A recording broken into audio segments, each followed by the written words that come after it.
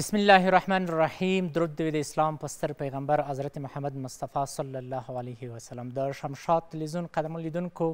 سلام پر تاسو خدای دې وکړي چې خوښ او خوشحاله به یاست او له خوشحالۍ څخه ډک ژوند ولرئ بیا هم د روژې د مبارکې میاشتې نن پنځمه روژه ده خدای دې وکړي چې په ټولو مسلمانانو باندې دا نننۍ ورځ هم تر دې دمه په خوښیو تېره شوې او پاتې ورځې هم ټولو ته له خوښیو عبادتونو څخه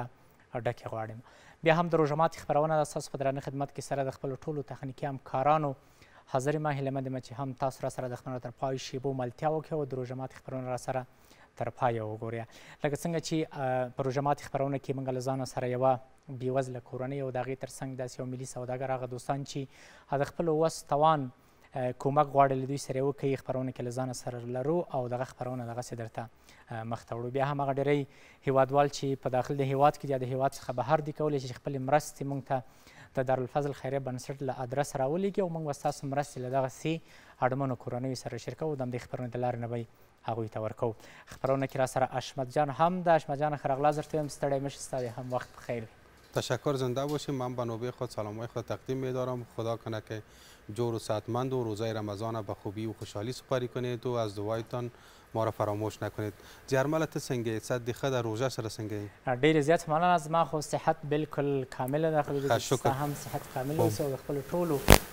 قدرمندو لیدونکو هغه چې په هیواد کې دی د هیواد نه بهر دی د روژې مبارکه میاشت ده حشمت جانه دا ډیره بختوره له خوښیو عبادتونو څخه ډکه میاشت ده په دغه میاشت کې موږ کولی شو چې لکه موږ تاسو ته ښکاري چې په اوس وخت کې زموږ ډیری هیوادوال ډیر بېوزله دي ډېر ناچاره خلک شته دي په دغه مبارکه میاشت کې څومره چې موږ وکولی شو د دغسې کسانو لاسنیوی وکړو او دوی سره مرسته کومک وکړو هغومره اجرونه موږ ته ډیر دي الله جل جلاله موږ تاسو ته اجرونه راکوي نو ځینې وخت اشمت جانه داسې کېږي چې یو څو ګروژه یې بیرون کار کوي که نه ته خپل هم لکه راځې دفتر ته کله چې دفتر نه ځې کور ته ځینې کسان داسې چې کور ته لاړ شي اعصاب یې خراب وي په خپلې کورنۍ باندې یګان وخت داسې غوسې کوي قهر کوي که نه نو خپله هم ته کله په کور کې د داسې قهر او غوسه کړې ده چې کله د ځینې لاړ شي نه قهر قهر باندې خو څه نه جوړېږي او باید خپل اعصاب باید دیر کنترول ولرو بیا بل خصوص روژه په میاشت کی باید دیر کنترول ولرو او که چیری کوم بده خبره څوک درته وایی ته باید ووایی چه زه روژه لرم او دا کور کی هر څومره چې مشکلات بیرون کې لري باید کور ته چې ولاړ شي باید آرام اعصاب دې آرام شي او که په خوشاله لاړ شي او د خپل کورنۍ سره د خپل میرمنې ترڅنګ مورجانې خورجانې ترڅنګ همکاریو کې هغوی سره د کار په برخه کې بلکل. یا ترویې جوړې کې یا سلاته وکړي یا یو ترکاري مرکاري را جوړه کړي دا هم ښه کار د هغو سره همکاري دا هم دا خو سنت طریقه هم ده چې کور کې کار کې دا خو سنت طریقه ده بلکل نو داس کوو چې زو د خبرونې شروع له قرآن کریم د سو مبارک آیاتونو څخه کوو قاری صاحب شیر وزیر را سره په استودیو کې ده په بل استودیو کې قاری صاحب خراغلاس او مهرباني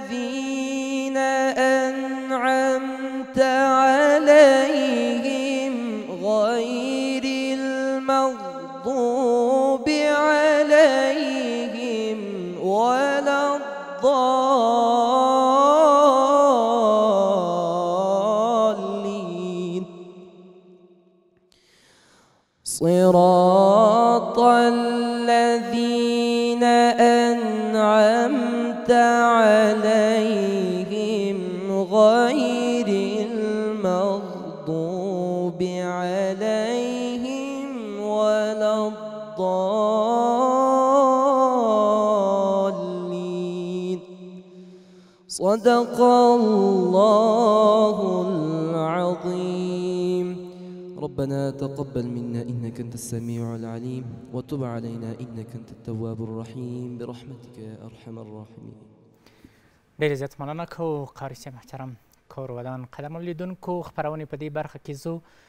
د هغې بېوزلې کورنۍ ویډیو ګورو بېرته راګرځو زموږ سره اوسئ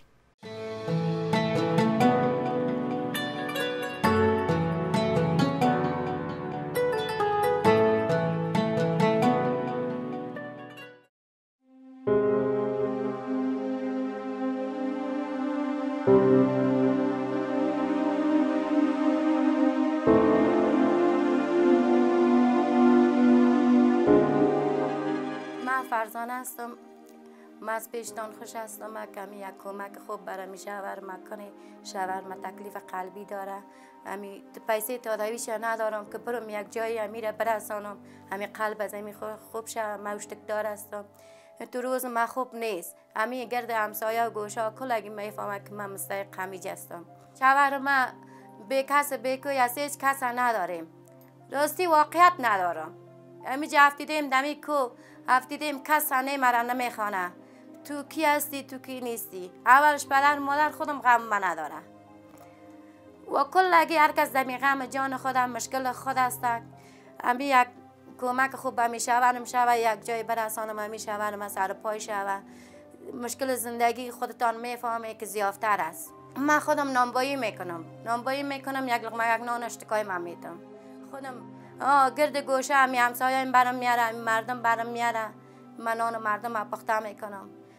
به و نان مردم هم به ما چیز نمیشه الا پیسه چوب هم قیمت است پیسه چوب قیمت است خیلی قیمت شده چوب ارزان باشه یک کاره هیچ چیز به ما از امو چوب هم یک لغمه نان که به من مردم که میتن اونمو روز روزگار خودم همه چلانم شهر مدین روز بردم در شفاخانه این بیسینا پیسه نبود نیم دوای شهر بر محمد دادن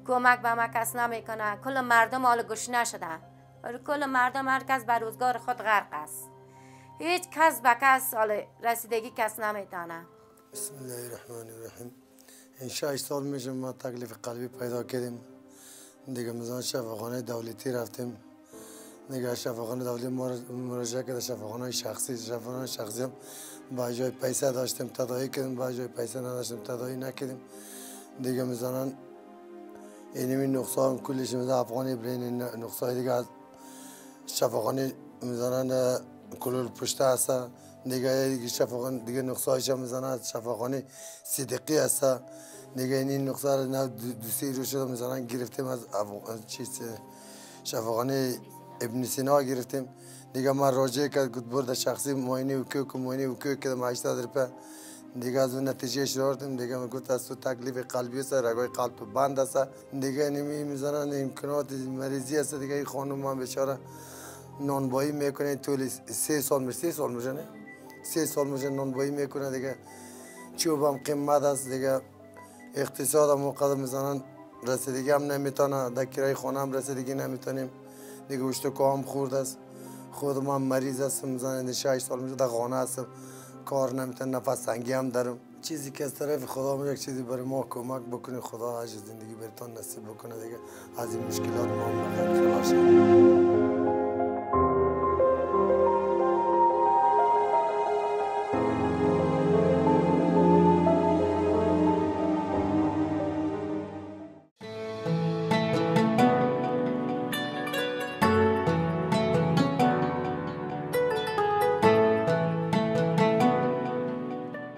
بیا هم ښه راغلاست درته وایم وخت مو په خیر ټول ستړي مه شئ بیا هم مننه کوو له ملت سټیل او تمنا مکروني څخه چې زموږ د خپرونې په جوړولو کې پوره پوره همکاري زموږ سره کړې ده او ګرانو هیوادوالو تاسو هم د دې مورکۍ د ژوند قصه واورېدله د دوی د کور تصویر مو ولید چې دوی په څومره مشکلاتو کې ژوند کوي او د کور سرپرست هم چې د دوی خاوند ده په کور کې ورته په ځای پروت ده او نور ستونزې هم ډېرې زیاتې زمونږ ډېری هیوادوال له دغسې ستونزو مشکلاتو سره لاس او ګریوان دي چې ډېر سختیو کې دوی هغه د خپل ژوند شپې ورځې دوی تېروي بیا هم هغه ډېری هیوادوال چې غواړي دغه مورکۍ لاسنیوی وکړي د داسې نورو نو هغه کوم ادرس چې د دارالفضل په اکاونټ نمبر باندې تاسو کولی شئ چې موږ ته خپلې پیسې راولیږه او موږ د دې خپرونې د لارې نه دغسې اړمنو کورنیو ته ستاسو پیسې ورسوو مادر جان خوش آمدی بله خوش راجی خوب هستیم خوب است بیادر سلامت باشین زندگی بخیر میگذره زنده باشی هست میشه یاد دیر میشه به یک رقم مشکلات های ما زیاد است بیادر بیا خداوند مهربان است منگل صاحب تاسو هم خیر اغلاس بخیر اغلی خبرونه ته او له مسافرۍ څخه هم پخیر راغلې ګران وطن افغانستان ته. مننه زیانمل صیب ژوندی اوسې د تا نه مننه کو تخنیکي همکارانو نه د شمشاد ټلویزیون ټولو کارکوونکو نه مننه کو تیمن دې پرې هڅې کړې دي چې دغسې پروګرامونه یې جوړ کړي دي خور غریب غږ یې رسولی دی الله تعالی دې نوره توفیق او بریا هم درکړي. ډېره زیاته مننه کوو منګل صیب تاسو د دې مورکۍ د ژوند قصه واورېدله چې داسې ډیری کورنۍ فامیلونه شته چې له داسې ستونزو سره مخ دي کله چې د هیواد نه تاسو بهر یاست یا ژوند کوئ او د وطن دغسې حالات داسې میندې ګورئ چې په داسې حوالات کې ژوند کوي څومره ورته ځورېږئ بیخي زیانمل صاحب د اندازې نه زیات ما درې دېرش کاله سفر کړی دی هر کله چې د تاسو پروګرامونه د ټلویزیون د لارې موږ لیدلي وي دغسې کورنۍ مو لیدلي وي بېوزله هیڅکله د ما د سترګو نه اوښکې نه دي پاتې شوې چې تویې شوي نه وي نو په دې برخه کې وروره د مو په هغه تجارو نه په هغه افغانانو ورونو نه چې کارونه یې ښه دي برابر دي زه د تاسو د دې ټلویزیون د لارې غږ پې کوم چې وروره همدغه وخت دی همداسې کورنیو سره کمک وکړئ موږ سره حساب کی الله ته مخته کی یو وروره دی مو بیا هر څه په دی روژه کی یو پاویا وی بدلا دو دی یوا روپی دی چی چاته ورکړه پاویا یی بدلا دو یو نیکی دی چی وکړه دی نیکی کار دی وکی پاویا وی بدلا دو نو زه ټولو افغانانو ته خاص کر تجارو ته او دغه څه چی کارونه یی برابر دی دا ورته وایم چی دی الله دی رضا دی پاره یی وکوی دی افغانستان حالت ډیر ژوبل دی ما زه خو دغه دی نږدې نه ګورم که څومره سفرونه وکړم خو بیا هم دغه مو خپل کور دی دې ته راځو نو دغسې چې حالات وګورې په کومه اشاره ودرې کوم سرک کې یا څه اخلې هغه د برداشت وړ نه دي چې ته څه راخلې او تا ته لاس پنځلس کسان لاس ونه نیسي نو دغسې حالت راغلی دی په دې کې چې هر څوک مرسته امداد وکړي زه خو وایم چې جنت یې ځان ته په خپله په پیسو واخیستو بلکل راځه مور جانې تاسو ته چې څومره وخت کېږي ستاسو خاوند ناروغه ده او په ځای باندې پروت ده من فارسی زبان هستم آه درست از داری گپ ما چقدر وقت میشه که شوهر شما در خانه است؟ 6 سال میشه در خانه است. شوهر ما 6 سال میشه مریض است در جای است. اینو کار سقیل کردن همه کار اینی بره در روی سرک کار کردن میتونه از خاک اساسیت داره از امی کل چیز بگویم حساسیت داره امی چیز خوب نباشه که برزو بتام سرپای استاد چه و دیگه اقتصاد خانه ما ضعیف است خیلی ضعیفه بیادر جان خیلی ما اوشتک دار هستم دیگه پدر از 6 سال میشه که در جای است دیگه اولاد کلان نداری؟ اولاد کلان دارم مکه دیگه که شنه 12 ساله است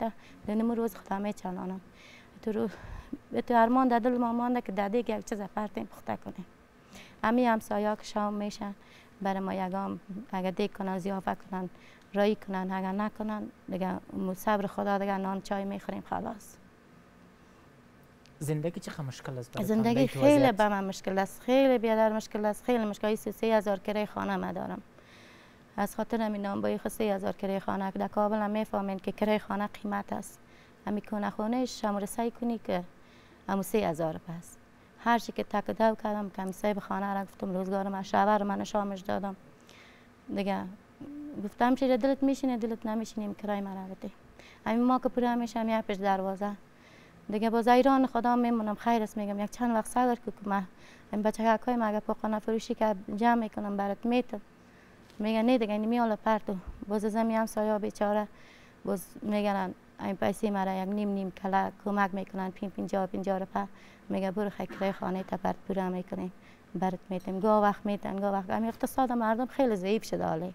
خیلی روزانه با چند فامیل نان پخته میکنید دیگه به تو گفتن هم یک را میشه تو بیر بار میشه یک را میشه که ایت نمیه خمیر اید نمیه ایتو دوامدار نیست که تنها نپخته کنی پیسه نه نه در پالوی ما خیلی داش جور شده در بالا هم داشت جور شده در پیش پالوی خانه ما هم داشت جور شده دیگه حق کار ما حالا نمیشه هیچ کارم نمیشه لحظه سختی که امسال سر تیر شد و خیلی چی بود خیلی همه لرزه سخت از پیش ما تیر شده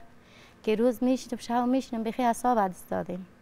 این می پای ما سعی کنی استخوان پای ما بر آمده دینه می یخی زمستان چقدر تیش سرما نه صندلی نه بخاری اما تا می پای ما یخ زد دمو سر تندور امیال پای ما یگان وقت درد بیکن سه تا بنداش انداختین در پای خود که باش که خیر از اولادای ما گشنه نمان اولادای ما کی نان میده پدرش تکای من نه پدر داره نه مادر داره اتیم بچه است بیخی بی کس و بی کوی است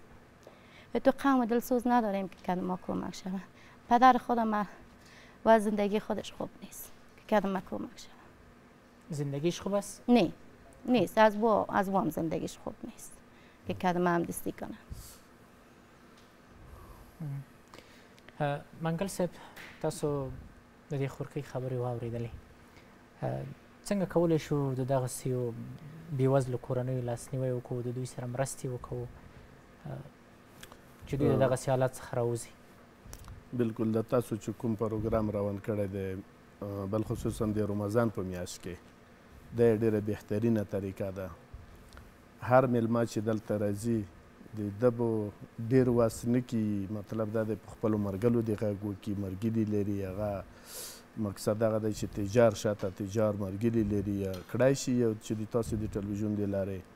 او بیا موږ ته افغانستان خو د موږ کور دی موږ ته معلوم دی په خپل کلی ولس کی راته معلوم دی صرف دا نه ده چی یو شمشاد ټلویزیون ته مراجعه وکړي نو هغه یوه کورنۍ به وي یا به پنځه وي نه په سلاهاو کورنۍ دي چی هغه در به در ژوند سره مخ دي نو زموږ که وایئ چی مطلب موږ تجار نه لرو خو ښه په لوړه سطحه تجاران لرو خارج کی دي خلک دي صرف ایماندارۍ ته ضرورت دی چی ایماندارۍ نه کار واخلو او د داسې خلکو وروره د موږ کمک ورسره وکړو یعنی مطلب موږ مسلمانان يو موږ دي ځان دي پاره بايد وکو دا دا نه چي دي دوی دي فاره دا کومک دی نه موږ ته اجرونه رسيي ما مخکي خبره وکړه يو پاويه يې اجر درته رسيي نو په کار او مال کي دي هم برکت توليږي ځکه چي ته د خپل کار هغه د خپل شتمني سرسايه پيسي خلګو ته ورکي الله به دي هغومره په کار کي برکت واچي. الله تعالی لکه څنګه چي څلويښتمه روپۍ زکات ټکلی شوی دی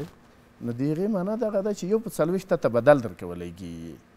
نه دا د الله کلم دی دا د الله خبره ده وروره د بیو په څلویښت موږ ته بدل درکولی کی کتیان باید څوک په سرسیا په زکات او په په په خیرات په دی باندی زړه بد نه کی دا د ځان د پاره کار وکتو لکه ځان ته چی یو سرمایه ګذاری کړی وی هم د یغی دنیا هم د دغی دنیا. ډیری مننه کوو منګل صاحب قدرمن لیدونکو خپرونه په دی برخه کی زو لنډه دمه اخلو وروسته له دمی راګرزو هغه کومی مرستی چی موږ ته خپلو هیوادوالو رالیګلی دی هغه به هم ورکی ته تسلیم کوو تاسو هم زموږ سره اوسی.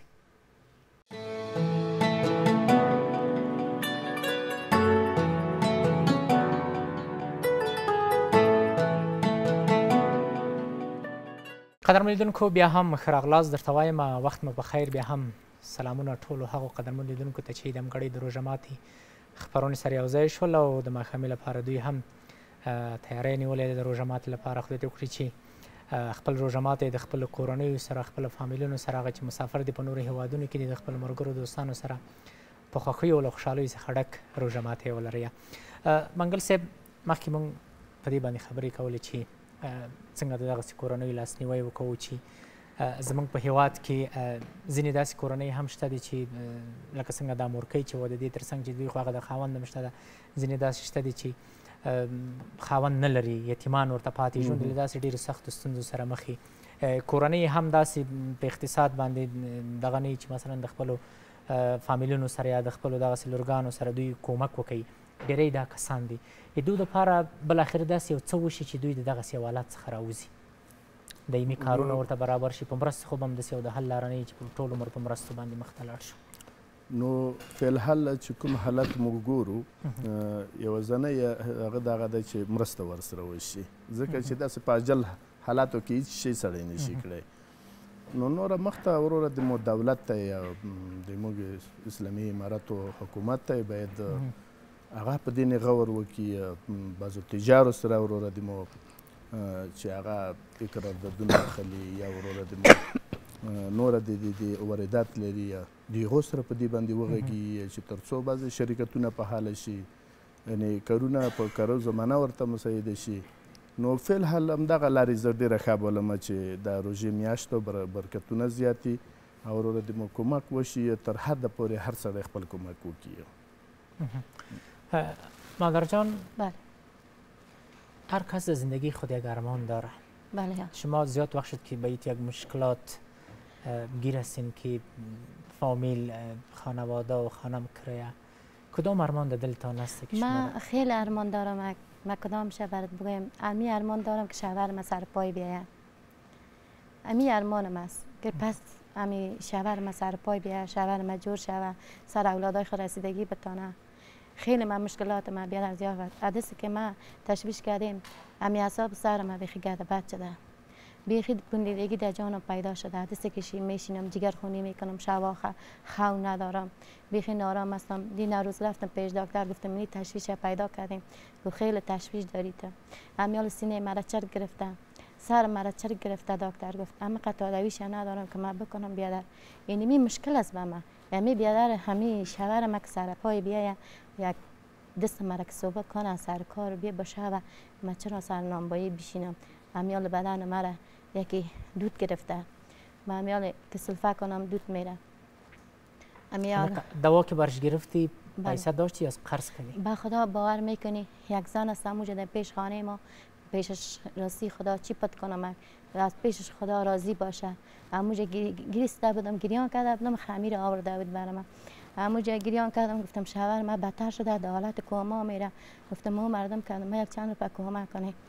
همو زن ز می بیرون برآمد و به نام خدا خیر از پنجاه پنجاه روپه کمک شوی کد از امی امی شوهر خود تا امی یک جای برسانه امی پیش امی دکتر ام بی سی نابا رفتیم اموجا امی امی همسایه ما یک موتر داشت این موتر از امی انداختش همو تو بردش همو بیادر خیلی حالتش خراب بود دکترها چی گفت که چقدر مصرف میسر از که ولی جور شد دکترها تداوی از که شود خیلی مصرفش زیاد میآید همی رگای قلب از او بند است گفته چیز از چی نداره آ پاکستان رئیش کنی آ هند رئیش کنی دیگه هیت هیت ده افغانستان هیت دیگه انو تادویش کده نمیتونی همیقه ما دوا که میتیم شه همیقه ای سر پای باشه درا که میره میلرزه چیزی که اقتصاد خانه ما ضعیف است برش یگام چیز خوب پخته کده نمیتونم از او نان چای چی جور میشه بیادر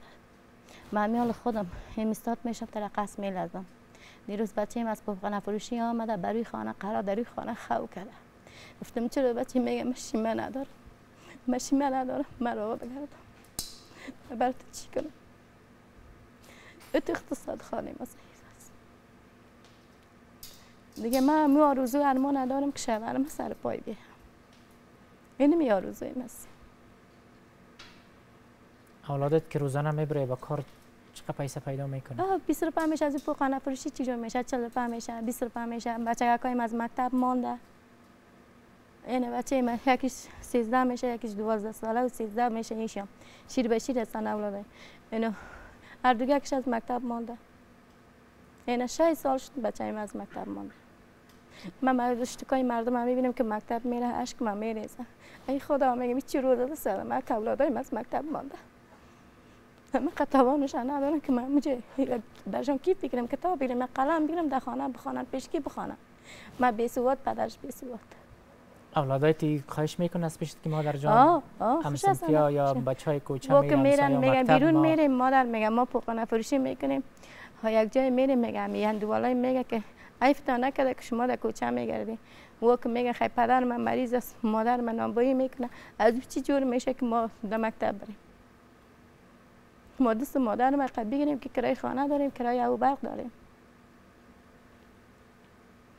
از او چی جور میشه از این نامبای مامه چی جور نمیشه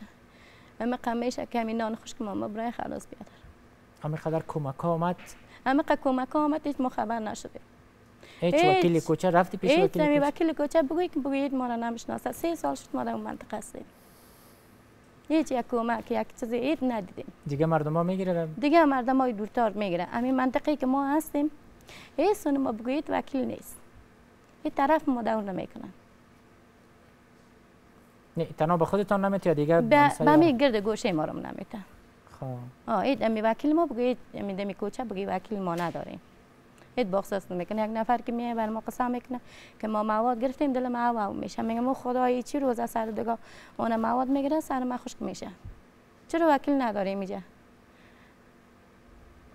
یک وکیل در اوکو بود زمستان بود رفتم گفتم اکمی نام مربی که من طور مشکلات دارم هیچ امی سلام ملک نگرفت گفتم ای خدا داده گفتم بعد پدر غریبی نالد گفتم امی وکیل هم آدم نمیشناسن منګل صاحب راځو تاسو ته چې تاسو هم د خپل هیواد څخه بیرون ډیر ژوند کړی ده یعنې د ژوند ډېر وخت مو او ډېر عمر مو په مسافرۍ کې تېر کړی ده. په مسافرۍ کې مو هم کومه روژه داسې تېره کړې ده؟ لکه څنګه؟ لکه هېواد نه بهر یوه روژه ډېرې وانه زښتې ډېرې روژې بیخي ډېرې درې دېرش کاله ما تېر کړي دي درې دېرشو کالونو کې کم نه کم شپاړس اوولس روژې به ما د وطن نه بهر تېرې کړي دي خو هغه ډېر داسې حالات چې ګورې ډېر دردېدونکی وي، ډېر زړه ته درد رسوي. بیا د مساپرو زړونه هسې نري وي، د خپل د کلي او د قام د څخه لرې وي، بیا په خپل وطن کې داسې غربت چې ګوري، داسې کورنۍ وګوري، ډېر دردېدونکی وي او زیات دی. خو موږ لکه څنګه چې مخکې تا وویل چې یعنې موږ څه وکړو، داسې حالاتو نه دا کورنۍ څنګه راوباسو؟ زه چې خپله سوچ کوم پوه شوې فلحال هم دغه لار دو او نور مسولیت چې دی د حکومت دی پوه شوې نور مسولیت د حکومت دی ډېر زر به هر څه برابر شي خو که په دې کې حکومت ګمونه واخلي خپله هم تازه راغلی نه به ښار کې ګرځېدلی پخوا دې څه لیدل چې پرې خوشحاله به وو چې زه ویني د خلکو وضعیت څه ته ډېر خوشحاله کېږي او څه ته ډېر خفه کېږي لکه څنګه په کومه موضوع چې دلته موجود ناست یو بیانوو یې په دې نه ډېر خپه کېږم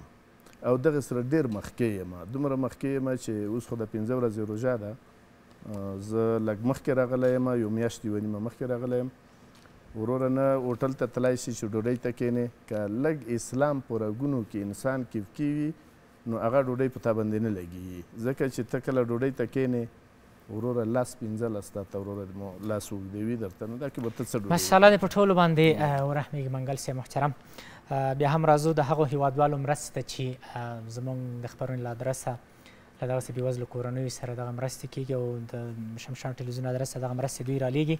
د حاجي صاحب څخه ډېره زیاته مننه کوو چې د پارکای صنعتي څخه یې د روژې تر پایه پورې د هرې کورنۍ لپاره یو څه نغدي پیسې په نظر کې نیولې دي. یو بل ورور چې د نوم په نه ښودلو سره یې بهر نه یو څه پیسې رالیږلي دي د همدغسې اډمنو کورنیو لپاره او له بي بي حاجي څخه ډېره زیاته مننه کوو چې د امریکا مریلنډ ښار څخه یې یو څه نغدي پیسې رالیږلي دي. ایمان ورور له جاپان څخه درې زره افغانۍ د روژې تر پایه پورې د هرې کورنۍ لپاره په نظر کې نیولې دي او زموږ د خپرونې له لارې به یې دغسې بېوزلو کورنیو ته ورکوو. د ملت سټیل څخه ډېره زیاته مننه کوو چې د هرې کورنۍ لپاره یو خوراکي پاکیج دی چې په دې کې وړو غوړي وریژې بوره او داسې کوم خوراکي توکي چې د کور ضرورت ده ټول پکې دي منګل صاحب کوم څه چې تاسو په نظر کې نیولې دي هغه به هم له دې سره یو ځای کو او دې مورکۍ ته به یې تسلیم کو بالکل الله تعالی دې د ټولو غور وګړي مو مادر جان بگین چیز مشکل است خداوند سرش حال میکنه میربانی قدر ملیدون کو اخبران پدی برخه کیزو زمونږ همکار نصرت ساحل د ښار یوې څنډې ته وتلی دی او د خپلو ښاریانو سره چې د روژې روژه ماتې لپاره کوم آمادګي دوی لري له هغوی سره یې خبرې اترې کړي لنډ راپور د هغه ګورو بېرته راګرځو زموږ سره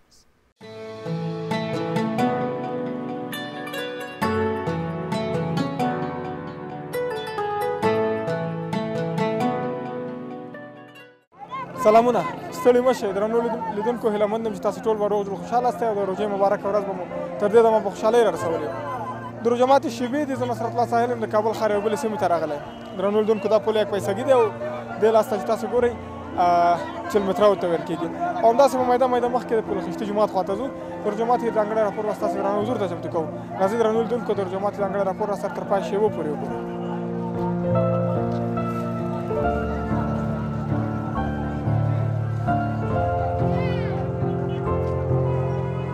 درانه لیدونکو د روژه ماتې شېبې دي او داسې ګڼه ګونه ډېره وي لکه څنګه تاسو ګورئ دا ورور مو چکنی خرڅوي څوک چې چکنی خرڅوي یا کچالان خرڅوي دا شیان خرڅوي نو بیا ګڼه ګوڼه ډېره وي دلته به څوک پیدا شي چې موږ سره خبرې وکړي او که نه السلام علیکم وروره ښه یې جوړې صحت دې ښه دی ډېر سخت مصروف یې لاره شته چې در شو خواته دی ښه تاسو لږه لاره راکړئ اها لیدونکو بیروبار ډیر دی هر څوک غواړي چې سودا واخلي او رجومات لپاره ځان ورسوي یا کورو ته او یا د ملګرو دوستانو څنګ ته وروره ته ښه شکر ده صحت دې ښه دی بخیر خپله خیر لري ده څنګه کې بیروبار دی هلته دلته چولې مزداره پخېږي نو هر یو دغه روژه مات ته وړي او ته موږ ته ځای نه پرېږدې تا هم قسم کړی څوک درنه ځای ونه نیسي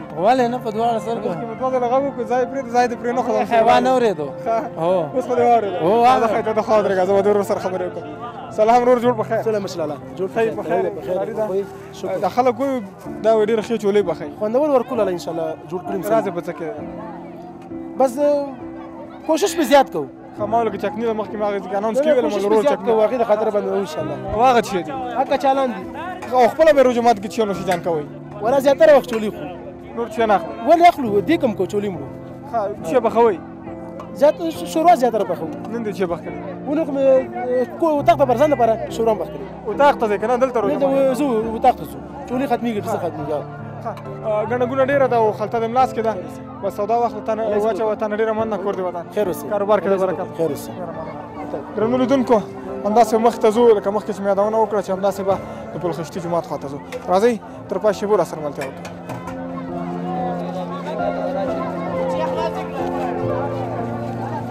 سلام جوړ بخیر سلامونه تاسو ته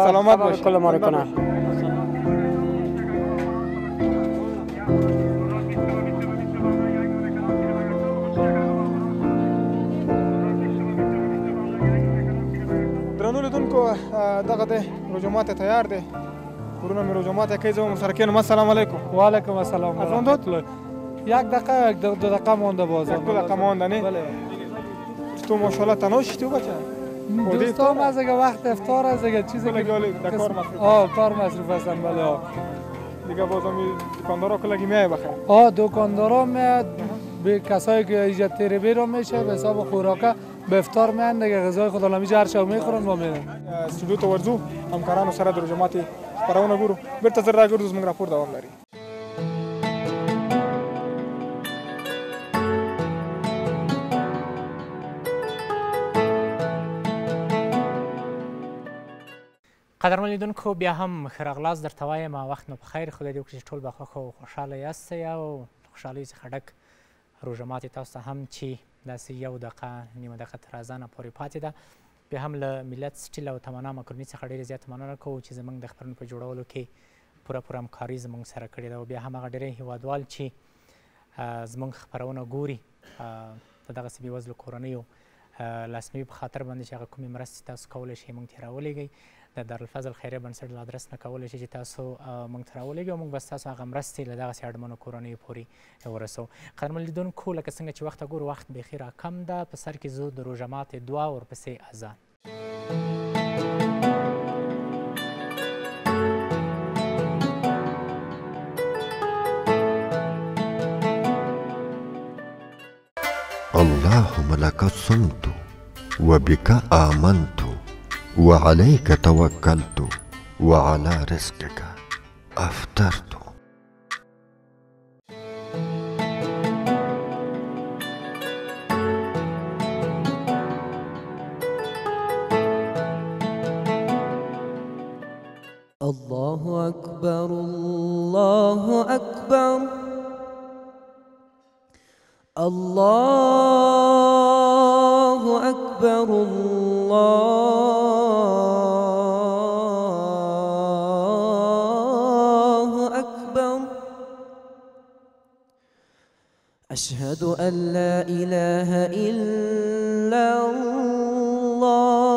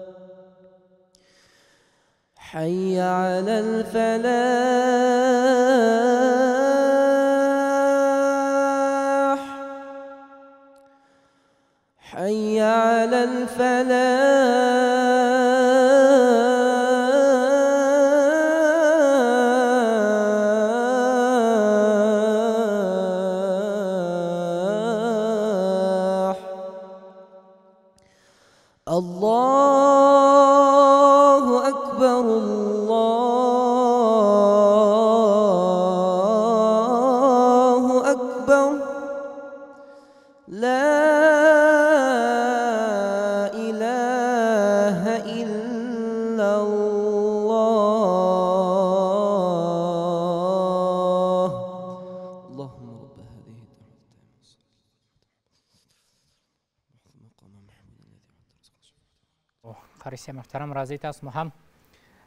روژه ماته کړئ قدرمن لیدونکو خپرونې په دې برخه کې زو لنډه دمه اخلو بیرته راګرځو زموږ سره اوسئ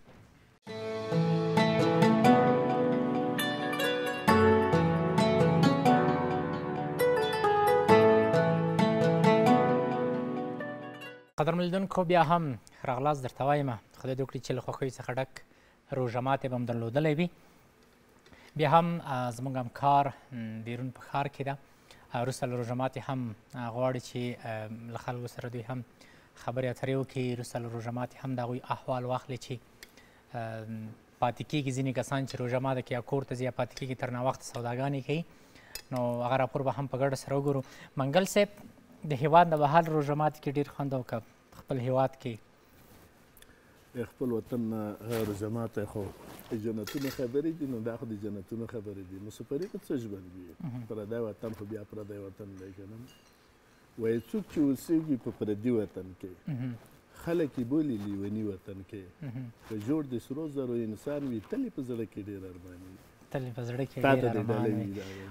بس الله دې ټولو مسافرو قسمت په خپل وطن باندې کړ چې راشي واقعا سخته د خپل کورنۍ نه او موږ دا نیم ساعت دلته چې مثلا اوسېږو یو ساعت خبرونه کې زه هم ډېری وخت روژه ماته نیمه کور ته رسوم که نه یعنې د خپل د کورنۍ تر څنګ سړی اوس خپل وطن کې نو سړی د پاره یوه روژه او یوه خوشحالي لکه اختر روژه اختر داسې کېږي نو بس الله دې د ټولو افغانانو ثواب په خپل وطن باندې وکړي چې راشي دا د ماته د پروګرام چې اوس مسافر ګوري یقین وکړه زړه به ژړاګانې کوي پوه شوې تاسو خپل لیدل دا پروګرام مو خو لیدلی دی که نه ډېر زه او ته چې ناست یو په خپل وطن کې وروره میز او خپلو خلکو سره خبرې کوو د تلویزیون د لارې دې ته ډېر دردونه ورکوي اها مهرباني تاسو هم خوراک کوئ قدرمن لیدونکو زو دا راپور په ګډه سره ګورو د دې راپور په لیدو سره هم زمونږ د نن ماښام روژه ماتې خپرونه پای ته رسیږي تر بیا هم په لوی او بخښونکي مهربانه خدای سپارم هر چېرته چې یاست خوشحاله او سوکاله ژوند د خوشحالۍ څخه ډک ژوند ښه وخت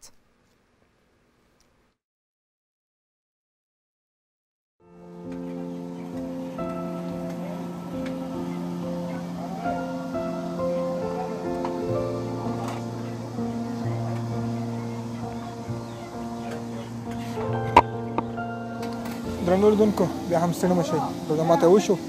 او تاسو د روژه ماته ځانګړی راپور په ما نصرت الله ساحل سره ګورئ چلمترا سیمه کې یو همداسې میده میده ځو په لخشتي جومات خواته ګران ورور مو تر څنګ ناست دی دوی سره مو روژه ماته وکړو اخلاص مهمه دی مورین تندای مهمه دی چې هر څه وي او موږ هیوادوال سره خوشاله وي او دوه کسان سره کښینی نو هغه ډیر خوند کوي چپس ساده ورځ وي واقعا ډیر خوند وکړو تاسو نه ډیر مننه ورو تاسو هم مخدر عزت وکړو کور مو ودان زنده باشه از شما هم تشکر زنده باشه که آمده خبر ما را گرفته با ما نوش جان کرده غذا افتار کرده سلامت زنده باشه زنده باشه خیر ببینید زموږ راپور دوام لري همداسې مخکې ځو او دې تر پای شېبو راسره ملتیا وکړئ السلام علیکم علیکم السلام بیادار چه حال داری؟ خب خیسی ماشاءالله سر تو تاثیر نمیکنه روزه بازار از خدا روزه را میگیره ما روزه ما را میگیره شما را چطور میگیره؟ ما خدا کار هستیم در هفته هستیم چند بجه میگیره؟ صبح که شش نماز که خون نمیبریم در کار سخت نیست؟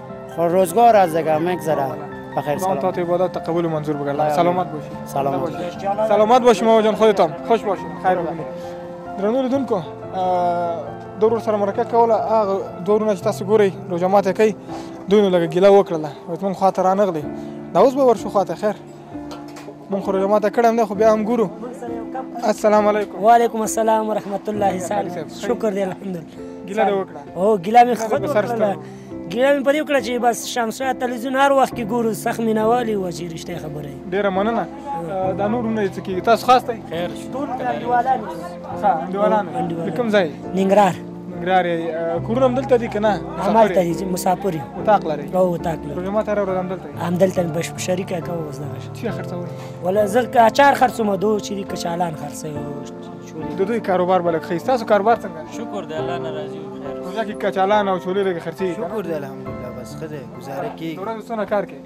ولا بس دا دونیم درې زره کیږي اور ورځ روزه ماته هم درې کسه یو ځای څه چې نو ځان کوي بس دغه شیان نو کله بس لګ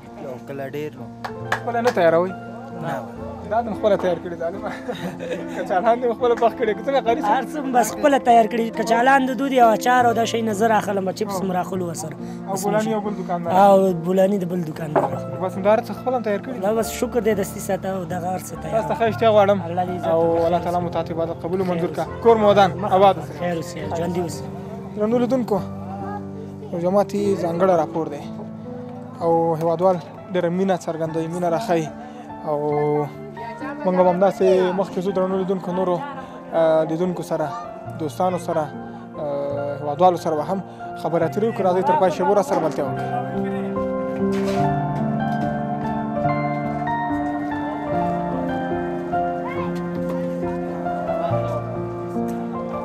درنو لیدونکو د روژه ماتي وخت دی روژه ماته شوې ده ډیره کسان اوس هم دسترخوان ته ناست دي روژه ماته کوي او ډیره کسان چای نوشجان کوي او دغه ملګري ګورو نو السلام علیکم سلام علیکم جور هستی بخیر صحتمند خیرتی خوب هستی خدا اچھا خود خوب هستی خوب هستی خوب هستی چیال داری شکر دعای تست مرد خدا افطار کردین بخیر اگه نکدی بر تام یک چای افطار کردیم یک گلاس چای که دمت را شد یه چای خو میخوری افطار کردیم مگم با چای امروز تو میخورین شما افطار کردین یا نه کردیم افطار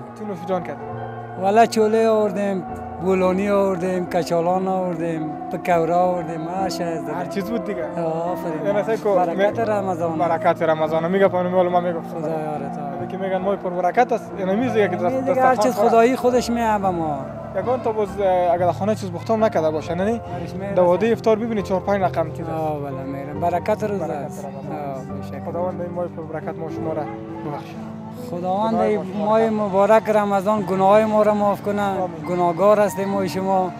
یک ماه مبارک رمضان است کسی که روزه را میگیره خداوند اجرش از یابتش کسی که میخوره او را خداوند فهمید توفیق بده که روزه را بگیره یک ماه مبارک است دیگه کی تو ما پس میاد دیگه تا وقت کی مرده کی زنده کی مرده کی زنده ما چرت از نداریم که از شما اوسه بریم ما بمریم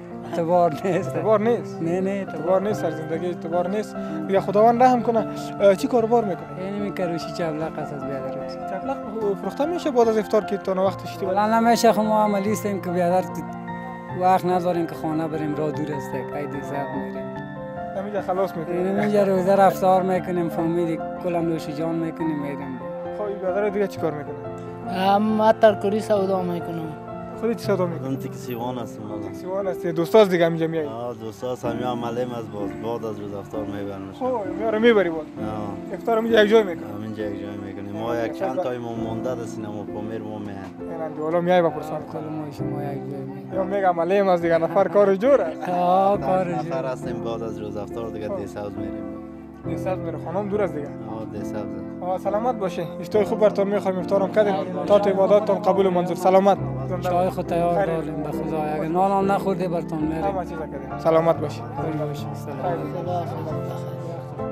درنو لیدونکو زموږ د نن ورځې د روژه ماتي ځانګړی راپور هم په همدې ځای پای ته رسېږي تر بیا چې زه نصرت الله ساحل ستاسو درنو حضور ته حاضرېږم تاسو ښکلی بخښنکې خدای سپارم الله تعالی مو مل شي له لیدلو مو مننه!